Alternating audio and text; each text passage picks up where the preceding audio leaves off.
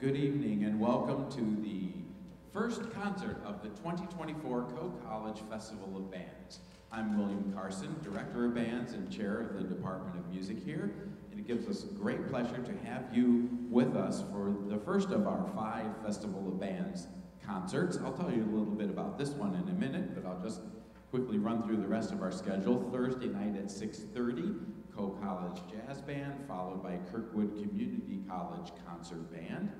And then on Saturday at 4 o'clock, two elementary honor bands. If you want to hear little cute kids playing music, please come 4 o'clock on Saturday right here. Two bands of 120 students each. And then Saturday night, the Coe College Concert Band is at 7.30, and we have guest composer Carol Britton Chambers with us. We also have a brand new flute concerto by Alan Tyson, who will be at the concert, performed by our flute instructor, Rose Bishop. It's going to be fantastic. Lots of other cool and interesting things during that program, so we hope that you'll join us.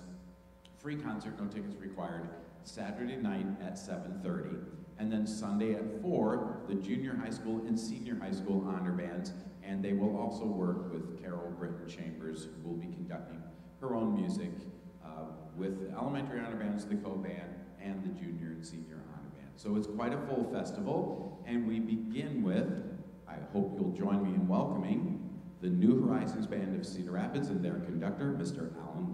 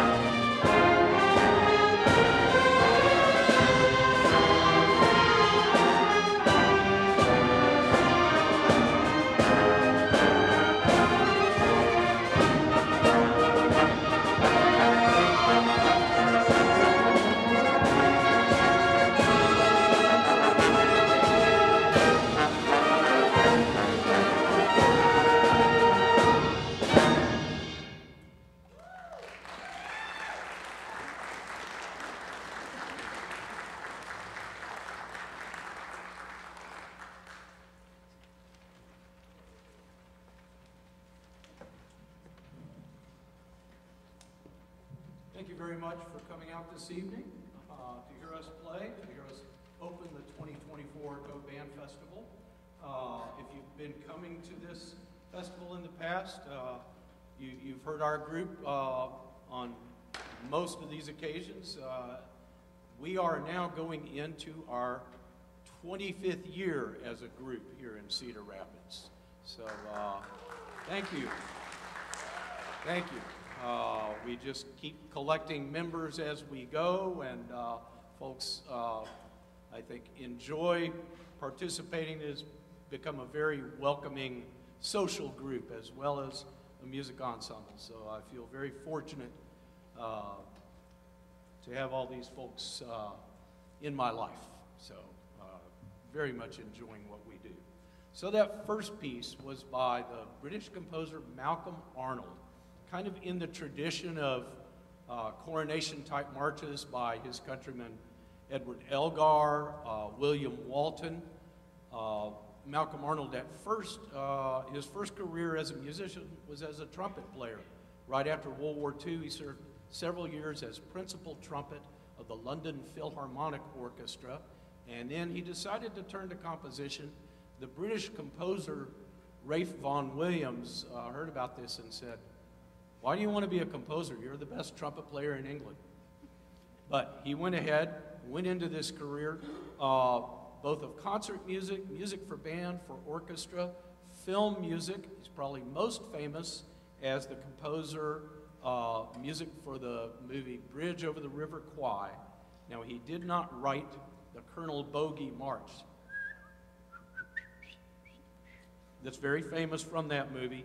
He didn't write that. That's another English composer, Kenneth J. Alford.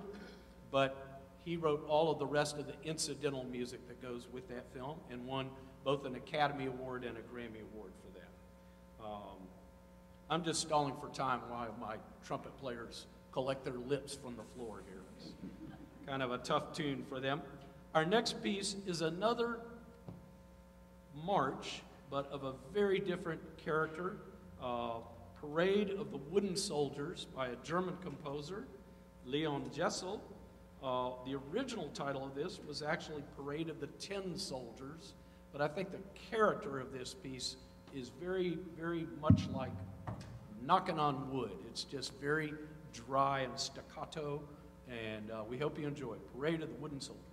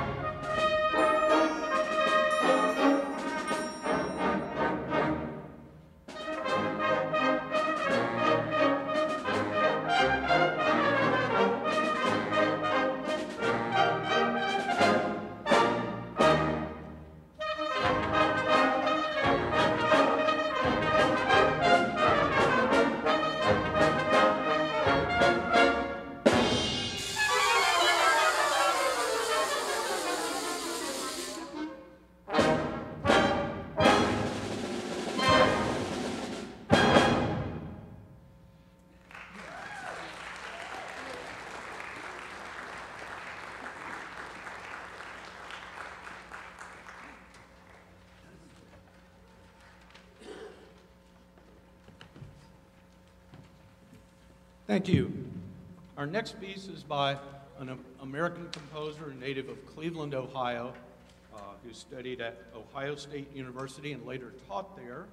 Uh, Clare Grundman uh, published many band pieces, was also involved in radio and TV and film, uh, but is most often remembered for his band music. Uh, there's a number of these. There's a, an American Rhapsody 1 and 2 and, and other pieces of this character. I was not familiar with this one, but uh, in uh, working with uh, our wonderful librarian, Beth Zamzo, who uh, she, she and I have had some good sessions in, in discussing the kind of music, specific pieces that uh, we'd like for this group to work on. Like I said, I wasn't familiar with it, but as soon as we got into it, it just uh, had a nice flow and a nice feeling to me. So I hope you enjoy the six folk tunes that go into an Irish Rhapsody, Clare Grundman.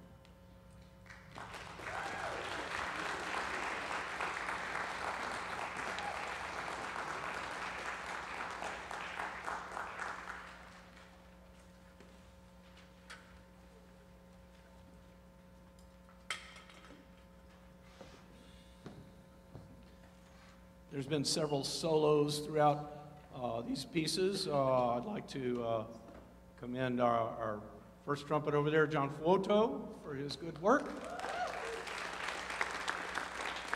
Also on that last one, a little bit of piping from our piccolo player, Debbie Kendall.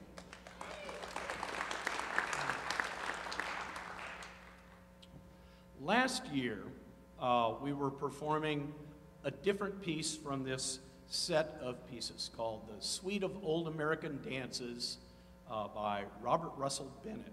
Uh, Cakewalk is the movement of this six movement piece that we were playing last year. This year we've moved on to another one called the Western One Step. Uh, it is a very quick, clever little piece. Uh, I just happen to like it a lot. Robert Russell Bennett, very quickly about him, mostly known as an arranger of other people's music. Had a lot of work, uh, very prominent figure, first in Broadway and then out in Hollywood and in the early years of television. Uh, worked for everybody. Uh, kind of the system that started on Broadway and in Hollywood, where a composer who had to write tons and tons of music for whatever film or TV show would write a piano score would send it off to the orchestrator and they would take care of the rest. They would fill in the colors. And uh, Robert Russell Bennett was the real pro at this, but occasionally he did have original pieces of his own. This piece kind of uh, figures in the early band movement shortly after World War II uh, with the formation of the Eastman Wind Ensemble in Rochester, New York, led by Frederick Fennell. This is one of the early band specifically concert band pieces as opposed to orchestra that was recorded by the Eastman Wind Ensemble back in the day. Western One Step by Robert Russell Bennett.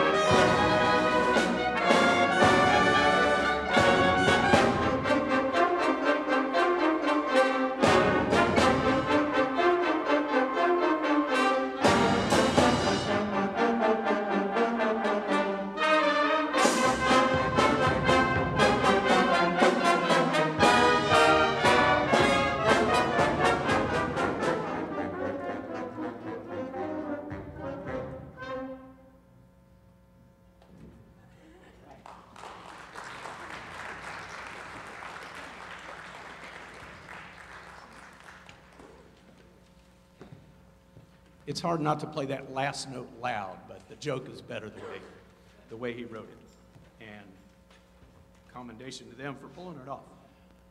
Thank you again for coming out this evening. Uh, we're going to be followed by the Collins Band after an intermission. Uh, and our last tune here is uh, from the rock group Chicago. Uh, back in the late 60s, early 70s, all of a sudden there were these bands, rock bands that had rock band instrumentation plus some brass plus some saxophone. Uh, Blood, Sweat, and Tears was one of these groups. Tower of Power is another one.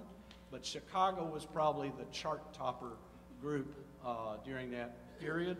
Uh, their first album is great. This was off of their second album.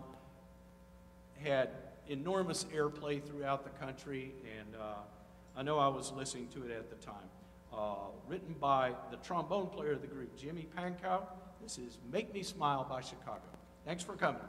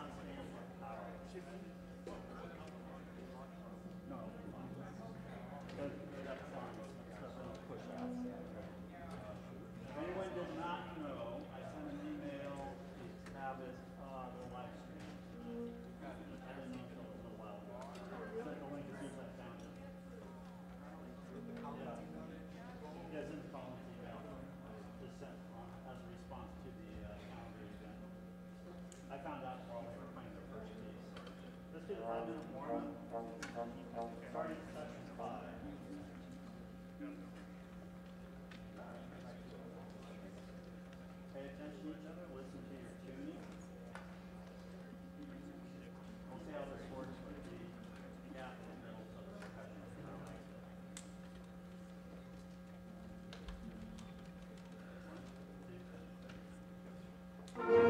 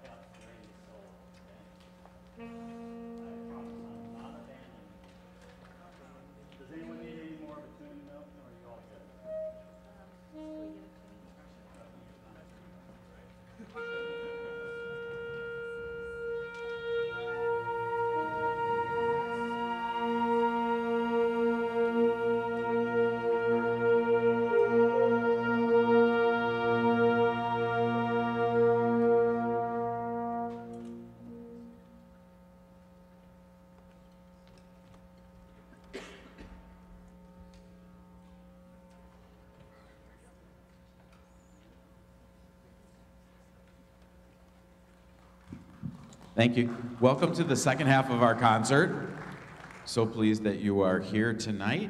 And uh, I think we figured out that the last time the Collins Band played as part of the Coe College Festival of Bands was 2013. So maybe some of you are remembering that, and maybe some of you, you know, were 10 years old at that time. So we're very glad to have you here. We're very glad to welcome the Collins Band back. It's nice to see familiar faces in, in both groups, and if you come back, you'll see some of them play in some of the other bands on the festival as well. And I'm also really excited to hear the concerto for drum set at the end because uh, it was composed by one of our former Festival of Bands guest composer conductors, Larry Neeck. So that'll be a fun tie in to years past of the Coe College Festival of Bands. So without further ado, the band from Collins Aerospace and their conductor, Jim Jezek.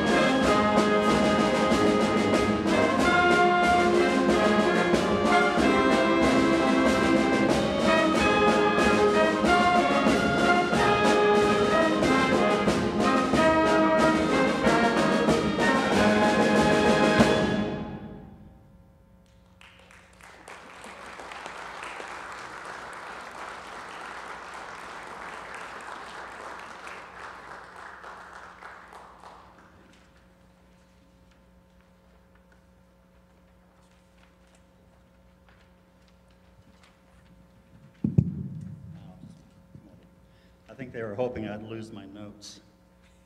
Anyways, thank you for coming out this evening. My name is Jim Jezek. I'm the uh, director of the Collins Concert Band. Uh, the band has been around since about the late 1940s. None of us are original members. I just want to be sure that's absolutely clear, though I have met several of them in the past. Uh, but the band started off as like a swing band, jazz band type format, and it's evolved over the years. The current format that we use as a concert band started in 1981. We've stayed with that over the last 43 years. I took over in 2007 when we had a gap between directors and I didn't want to see the band stop. And we've grown from about uh, 12 to 15 at that time to about 48 active members. A couple of them are out this evening for other commitments, but uh, it's really grown into quite the uh, formidable uh, performance group. Our opening piece was Prince of Egypt. Uh, as you heard, it was featuring Nick Gerhardt on trumpet back in the stage area. Um, that included uh, the titles Deliver Us, Through Heaven's Eyes, and When You Believe. And then we just completed the Valdres March, which is a Norwegian march uh, by Johannes Hanssen. Um, and that featured uh, Jennifer Morrison on the clarinet and the rest of the clarinets in their part, and Nick, Nick again on trumpet. This is one of the most famous marches ever composed. It was done in the uh, early 1900s uh, while Johannes was a uh, trumpet player for the Oslo military band. And it's very reminiscent of Norway. I lived there in the mid 70s and I can reflect on uh, a lot what this piece brought to me as I, uh, we rehearsed it and prepared it. It's a great piece. It's famous world over for brass, on, brass bands and wind bands and concert bands. It's one of those pieces where you recognize the melody, you just didn't know where it was from or what it was. Next, now that they've all caught their breath, we're going to do uh, a piece that is really, really the first time we've done this publicly. It's uh, quite a challenge for the band. It's by Camille Saint-Saëns from his Samson and Delilah, Delilah opera in 1877. It is Bacchanale.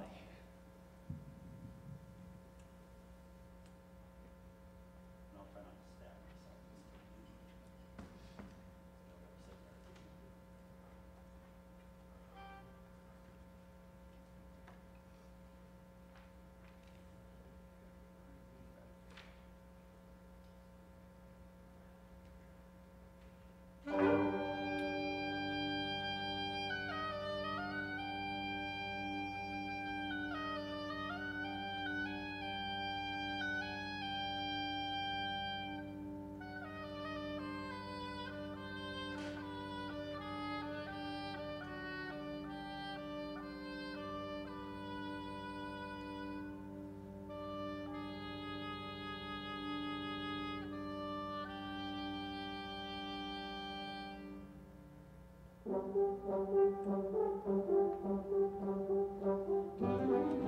you.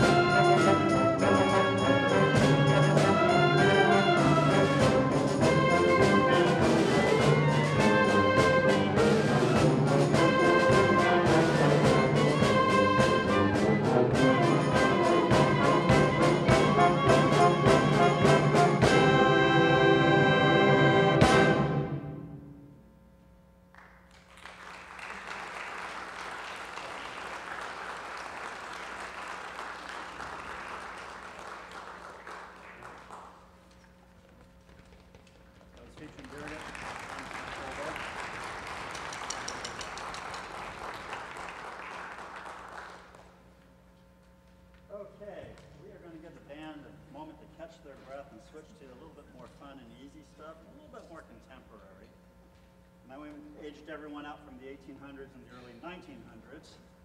We're getting into the 1970s. How many of you remember ABBA? Swedish band? How many you never heard of ABBA? Don't raise your hand. Some of us might be insulted at that. But our next piece is going to be a piece called ABBA on Broadway. And they've been begging me to say it correctly. I've done ABBA on Parade. I was thinking about doing ABBA on Vacation today, but it's ABBA on Broadway. You'll recognize a lot of these melodies if you've seen Mamma Mia, the uh, movies, or the uh, Broadway uh, plays of it. It's arranged by Michael Brown, comprised of their hits including I Have a Dream, Mamma Mia, SOS, Knowing Me, Knowing You, The Winner Takes It All, and Dancing Queen.